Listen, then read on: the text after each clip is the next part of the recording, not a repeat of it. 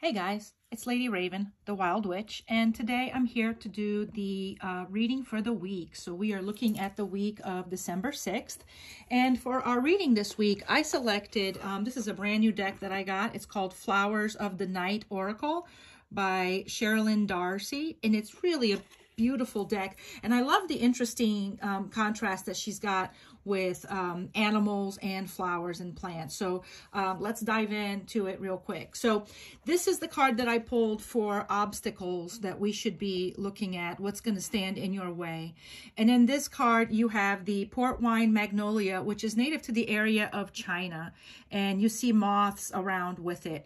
And this card here, she's got labeled as compassion, which is uh, an interesting um, card for that. And, and what the obstacle here is, is a lot of times, self-compassion. Um, we tend to be compassionate towards others. It's a lot easier to have compassion towards others and to be understanding when other people make mistakes and when things don't go well for them than it is for ourselves. So the challenge this week, the obstacle is going to be compassion for yourself. Try to have compassion for yourself. Don't be so hard on yourself all week. Don't beat yourself up. Um, you know, we're coming to the end of a very stressful year. I would challenge anybody to say that this year was not stressful for them because if it wasn't, then I would love to come live where you are because for just about the rest of us, it was very stressful. So give yourself a break. Um, the compassion is self-compassion, self-love, self-care. Um, take good care of yourself just as if you would somebody in your life that's very precious to you. So that's the part that's um, what this card here covers for the um, the uh, obstacle. So then now here we are moving for This card here is going to cover what are the successes and opportunities for growth. And it's interesting that the plant that's uh, associated here is the night phlox. Uh, this plant is native to the African region.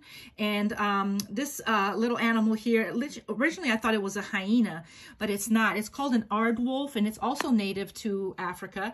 And he in, eats uh, pretty much insects. He's an insectivore, I guess is the correct word for it. But basically what this card here is saying for us is to look for things that we have an affinity for, um, things that bring us joy. So I think that, um, you know, we try to sometimes swim uphill instead of we we look at something that we want and instead of really trying to see how can I make that work for me? We look and see how are other people doing it and we're going to try to do it their way and sometimes it ends up blowing up for us. So look you can have different projects that are going on. Look at um, how other what other people are doing and then find your own way to achieve those same goals so that is the uh, reading that I'm doing for you guys for this week.